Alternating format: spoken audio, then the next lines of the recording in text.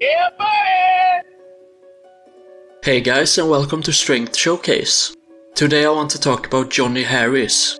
He is the lightest man in history to bench press over 700 pounds raw, but he hasn't competed since December of 2020. However, it looks like that is about to change, because he just put up an insane set lifting 306.2 kg for 3 paused repetitions. This is a ridiculous weight for anyone, let alone someone who competes at a body weight under 140 kg.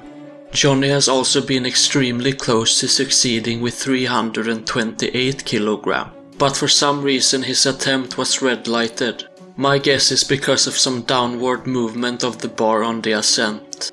He hasn't posted much on his Instagram this year, but hopefully today's clip means he's getting ready to smash his own all-time world record.